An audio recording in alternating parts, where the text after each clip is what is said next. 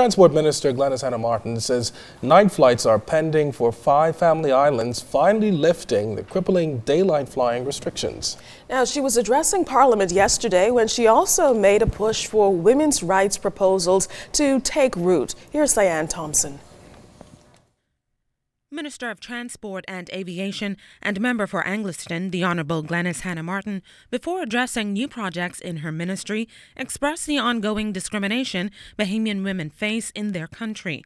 Hanna Martin stated that while Parliament has committed to eliminate discrimination of all kinds against Bahamian women, it's time to follow through. Most notably for me, we commemorated the 50th anniversary of women participating for the first time in 1962 in the result of a general election vote count.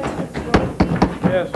Today, women, albeit in relatively small numbers, five of the 38 to be exact, sit in this honorable house as representatives of the people. And so significant progress has been made. But, Mr. Speaker, there's so much more ground to be covered.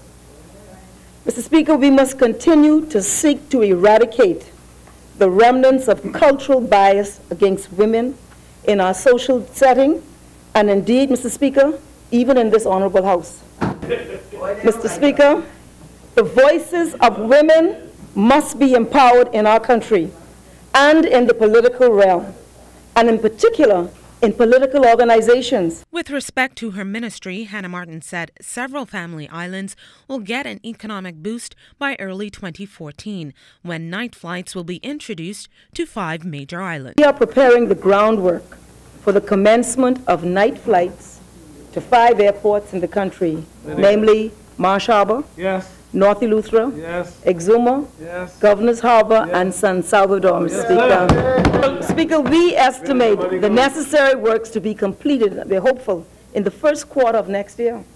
Speaker, I do not think I will have to elaborate, especially for those people who live in those community, communities, on the enormous potential this new paradigm will have on the economies of these islands. Yes, Another project is the expansion of the yacht registry. Hanna Martin also told members of a partnership with tourism. My ministry, in conjunction with the Ministry of Tourism, is developing a strategic plan for the redevelopment of Prince George Dock.